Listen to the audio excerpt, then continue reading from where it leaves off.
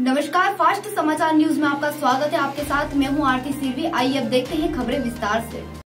भारतीय कोयला खदान मजदूर संघ ने अपनी विभिन्न मांगों को लेकर विरोध प्रदर्शन करते हुए पीएम के नाम मुख्य कार्मिक प्रबंध एसईसीएल जोहिला एरिया को एक ज्ञापन पत्र सौंपा। संघ ने कहा कि केंद्र सरकार के द्वारा जो विधेयक लाया जा रहा है, उसमें मजदूरों का फ़ायदा नहीं है। चौवालीस श्रम कानूनों को तोड़कर चार श्रम संहिता बनाई जा रही है। उसका हम विरोध करते हैं, साथ ही ज्ञापन में हमारी अन्य मांगे भी शामिल हैं। ज्ञापन सौंपने के दौरान भारतीय कोयला खदान मजदूर संघ के के सैकड़ों कार्यकर्ता पदाधिकारी मौजूद रहे।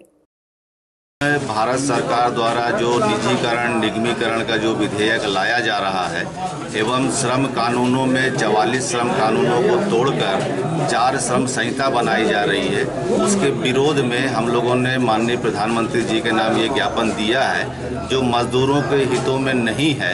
लेकिन हम एक और बताना चाहेंगे कि वेज कोड बिल जो अभी पास हुआ है उस वेज कोड बिल में असंगठित क्षेत्र के मजदूरों को ज़्यादा फ़ायदा हुआ है।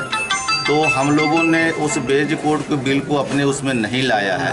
लेकिन जो social health, occupation of social health security का जो बिल आ रहा है, और आईआर बिल एक आ रहा है, जो आईडी एक्ट का रहा हमारा, उसको चेंज कर कर आईआर बिल लाया जा रहा है। उसमें ट्रेड यूनियन और मजदूरों के जो नेता हैं और आपके मजदूरों के हित पर कुठाराघात हो रहा है, उनकी सारी शक्तियाँ छीन ली जाएँगी।